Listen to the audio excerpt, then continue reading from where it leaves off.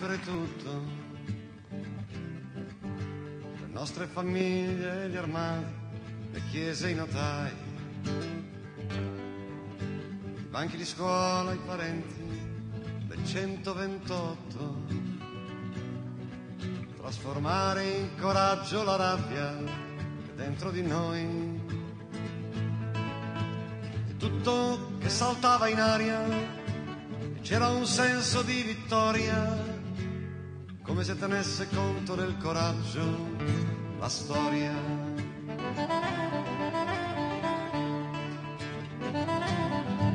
E allora è venuto il momento di organizzarsi, di avere una linea e di unirsi intorno a un'idea dalle scuole, ai quartieri alle fabbriche per confrontarsi decidere insieme la lotta in assemblea.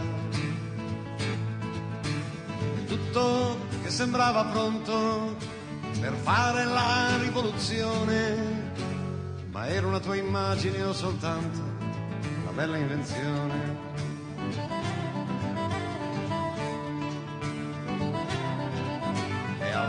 venuto il periodo dei lunghi discorsi. Ripartire da zero e occuparsi un momento di noi. Affrontare la crisi, parlare, parlare, sfogarsi. E guardarsi dentro per sapere chi sei.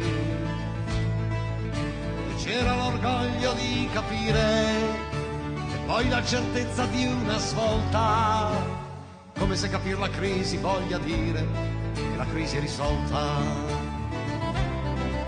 E allora ti torna la voglia di fare un'azione, ma ti sfugge di mano e si invischia ogni gesto che fai. Ma sulla certezza che resta è la tua confusione vantaggio di avere coscienza quello che sei. Ma il fatto di avere la coscienza che sei nella merda più totale è l'unica sostanziale differenza da un borghese normale. Ora ci siamo sentiti sicuri e stravolti, come reduci, laceri e stanchi come inutili eroi. Bende perdute per strada e le fasce sui volti. 40 anni e siamo qui a raccontare ai nipoti che noi, noi buttavamo tutti in aria, che c'era un senso di vittoria, come se tenesse conto del coraggio la storia noi buttavamo tutto in aria, c'era un senso di vittoria, come se tenesse conto